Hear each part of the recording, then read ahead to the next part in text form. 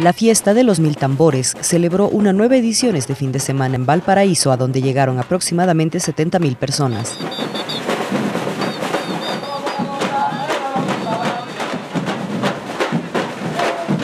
Este es un carnaval que surge hace 18 años en Valparaíso.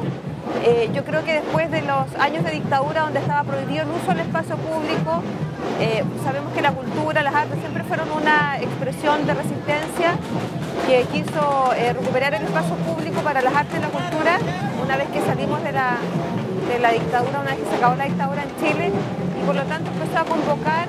a este carnaval a usar el espacio público con estas expresiones culturales de cuerpos pintados, de tambores, de bailes, de comparsa, batucadas.